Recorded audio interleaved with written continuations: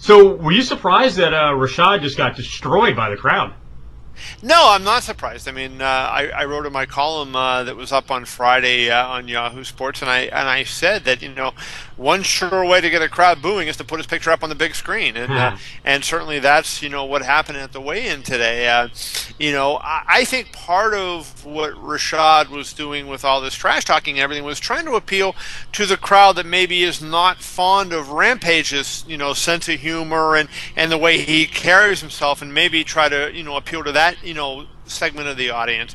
Um, you know, appeal was, hey, I'm a college educated guy, I dress well, I speak well, I'm aware of social issues. You know, I think that's kind of uh, what he was going for. But no, I, I wasn't at all surprised that uh, you know that they booed him because even though I find Rashad to be a very good guy and a very fascinating guy, I have absolutely no problems with him. You know, it seems like the public does not like him and has not liked him for a long time.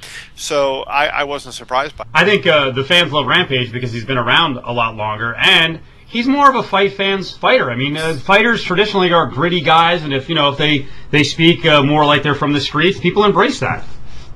Oh, I agree, and I mean, I think, you know, I, I, wrote this in my column about Rashad too. I mean, when you look at it, you know, Rampage has been in bigger fights against bigger name opponents and you know more dramatic type fights. And you know I just think you know he's been around longer. He's had the more you know uh, you know the the bigger history for people to watch. You know you buy the best of pride DVDs and rampages all over those. Uh, and uh, you know he has a history with a lot of the fans that, that Rashad just doesn't have. Um, Rashad you know really has had a couple real what you would call really big fight, uh, fights starting with Tito. You know obviously he fought Forrest Machida and Thiago Silva. Um, you know, but I don't think that that compares to the kind of uh, people that Rampage has fought. You know, Shogun, who uh, Chuck, uh, which obviously Rashad fought Chuck, uh, but he fought Chuck multiple times. Uh, Shogun, Vanderlei Silva. You, know, you go up and down the line, and uh, and Rampage has had been in there with some really big names, Dan Henderson, and I think he just trumps. Um, Rashad in that area, and that's kind of where the people, you know, they recognize that they know him better than they know uh, Rashad, and he's a guy that you know he's a jokester, and he's a guy that people you know tend to like. The fans are on the side of Rampage. It sounds to me like a lot of the media, for some reason, are on the side of Rashad, or are they viewing this objectively? Um, have they been swayed somehow? Because it, there's a lot of momentum from the talking heads on the side of Rashad, and I know you and I agree. Uh, we actually think this fight is in the advantage of Rampage. Yeah, I, I like Rampage in the fight. Um, you know, Kenny Florian, whom I respect greatly, uh, the UFC lightweight on ESPN's MMA Live, uh, he picked Rashad. I was uh, surprised by that. Hmm. Um, I, I, just think that Rampage is a bigger, stronger guy. Um, I and I believe that if uh, Rampage uh, connects, he's going to knock him out. Um, Rashad's been a little bit chinny throughout his career. You know, the one thing that uh, when you look at the fight, Steve, I think you say you have to be concerned. Rampage has never been the most dedicated guy. He's never spent the most amount of time in training, and you know, even out at uh, camp, you know, worrying about what he eats and worrying. You know, I mean, he was 251 pounds when he started this particular training camp. So, you know, I saw him in uh, February in um, Australia, and he was smoking. you know, you know, you know, concerned about you know about what he puts into his body. But you know, he is a phenomenal athlete when you know when he gets himself in shape. I mean, he's one of those guys that you know, he can do some things other people can't do. So the, the concern would be that he's got to have ring rust, that he, you know, he didn't take it seriously enough coming back. Look ready today at the weigh-in. I think he's going to be ready uh, to perform, and you know, and I expect him to win the fight. I think Rashad closed a lot of those gaps, a lot of the motivational gaps, with all the trash talk on the show and since the show. Oh, there's no doubt. I mean, uh, if uh, Rampage was going to be asleep, you know, it would have been back in uh, in March of uh, last year. But then, you know, Rashad got in his face right after the Jardine fight. He was in his face throughout the show. Uh, you know, kind of challenged him how many times on mm-hmm. the show. You know, and now throughout the promotion of this fight, you know, I mean, he called him an Uncle Tom. He also called him a Sambo. I mean, pretty uh, difficult things to say to an African American man. Yep. Um, and uh, Rampage held his temper, but you know he's seething. And I think that uh, you know you're going to see the results of his anger in the cage. You know, the concern is if you're on Rampage's side, can he channel his anger and can he fight uh, Rashad uh, with a, a, smart head and with the correct kind of game plan as, instead of just going out of his game plan and letting emotions uh, take over? If he can stick to the game plan and kind of fight with a cool head and react the way he normally would, you know, I think he's fine, and I expect him to be able to do that. Okay. Let's go uh, rapid fire through some of the uh, pay per view undercard fights. Diego Sanchez, any trouble going back to 170 facing a guy like John Hathaway?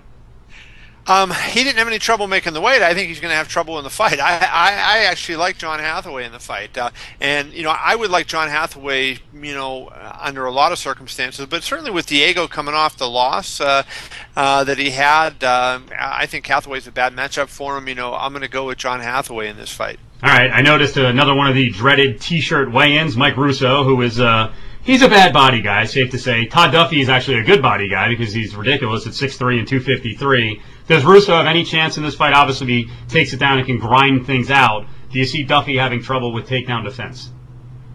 I mean, I think Russow has a good chance. I mean, I do, you know, think Russow has a chance to win. I'm picking Duffy because I just think, you know, he's kind of a superior athlete, and I think he's one of those guys that, you know, is going to be the next in the line of Cain Velasquez, Junior Dos Santos, Shane Carwin, guys that came into the UFC, you know, had a couple of uh, fights on the uh, on the undercard or uh, on the lower end of the main card, and then, uh, you know, explodes into a, a top level fighter. I think Todd Duffy's that kind of guy, a real powerful guy. But does Russow have a chance? Absolutely, because you know he can grind that out. He's fought in Pride, he's fought in the UFC before. He's a veteran guy. He's a smart guy, and, and he could frustrate Todd Duffy, no doubt about it. But you know as well as I do, Steve, you know that anybody that's trained with Duffy, anybody that's seen him, raves about him. Uh, Frank Mir uh, absolutely loves him, and uh, can't say enough good things about him. And you know Frank is a smart guy and know, knows his fighters. You know I'm going to take Todd Duffy by a stoppage. Um, but I, you know, to answer your direct question, mm-hmm. I do say Russow has a chance. Uh, Mike Bisping and Dan Miller. I, I think Bisping is going to roll in this one. Uh, I don't think that Miller's going to get him down easily, and I think Bisping's stand up is a lot better than Miller's. Yeah, I, I, mean, I think first of all, the Bisping has pretty good uh, takedown defense. I mean, look, you know, he fought Matt Hamill, uh, and against the hammer, you know, it wasn't like he was being uh, slammed down all the time. You know, he fought Rashad, same thing. You know, a very close fight. You know, both of those fights uh, could have gone either way. They were both close, controversial decisions. We know Bisping won the Matt Hamill fight, which led to a huge uproar. Uh, but yeah, so I think Bisping's takedown defense is better than you think. Um, you know, you know, I think his stand up is, is very good. His Muay Thai is good. Um, I expect him to knock out Dan Miller. And the lead-in fight. I mean, is there anything we can say positive about Jason Brilz? He is a decent takedown fighter, but his athleticism at this level against uh, Little Nog, I think he's going to have a tough time. Yeah, so do I. I mean, I think, you know, uh, Little Nog, uh, Antonio Rogerio Nogueira is one of the elite 205 pounders. And it's amazing, you know, if you sit there and you try to rank 1 through 10 the uh, light heavyweights. It's pretty hard to do because there's a lot of really good light heavyweights. Some divisions, you know, after two or three, you know, there there aren't that many good guys. But at this division, there's a lot of them, and and Nogueira is definitely one of them. He's got big time power, got a lot of other skills in the fight. I, I like Nogueira by knockout.